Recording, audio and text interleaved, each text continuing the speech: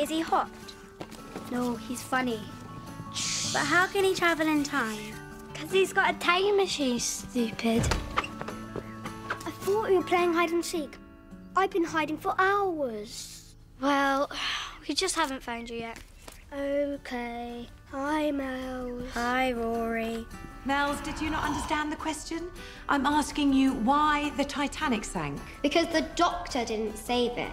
Except you don't know about the doctor because you're stupid.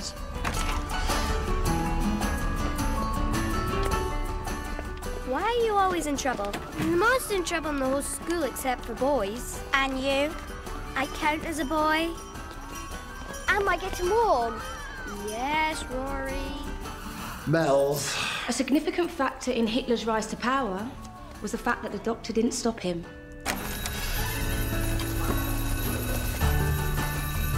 Can't keep doing this.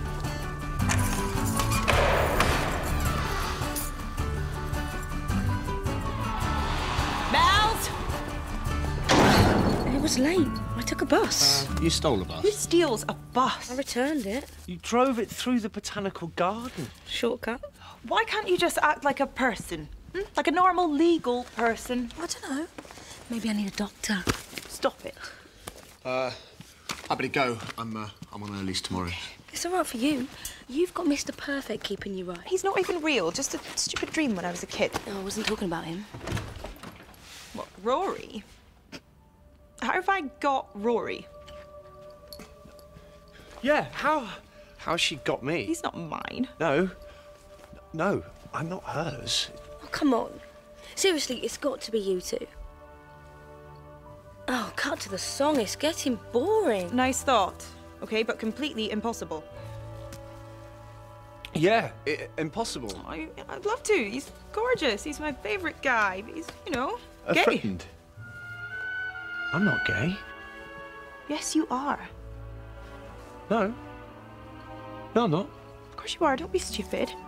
In the whole time I've known you, when have you shown the slightest interest in a girl? Penny in the air. I mean, I've known you for, what, 10 years?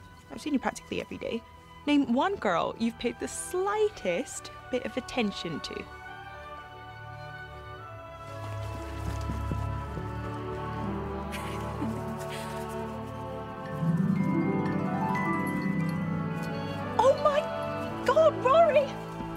The penny drops. Catch you later, time boy.